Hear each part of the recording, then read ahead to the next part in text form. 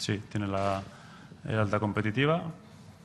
Sì, posso confermarvi che Iker Casillas sarà nella lista dei convocati domani. È molto migliorato nell'ultima settimana e ha dimostrato di voler dare il massimo per la squadra.